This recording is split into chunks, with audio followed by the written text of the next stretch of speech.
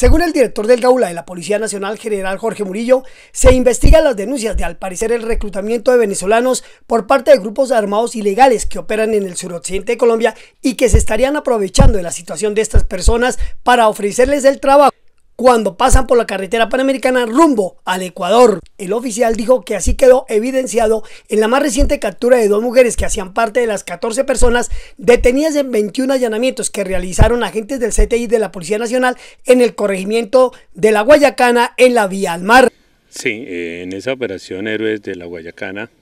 se capturan cinco mujeres, entre ellas dos venezolanas, quienes estamos identificándolas plenamente, estamos verificando sus antecedentes allá en Venezuela y que hoy están a buen recaudo en un centro de reclusión.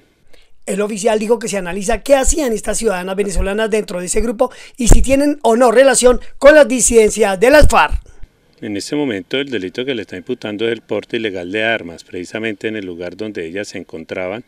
Eh, hubo la oportunidad en el allanamiento de capturar varios individuos,